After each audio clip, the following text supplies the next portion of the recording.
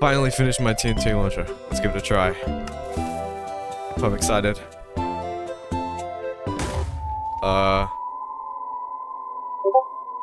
What? Where are you taking me?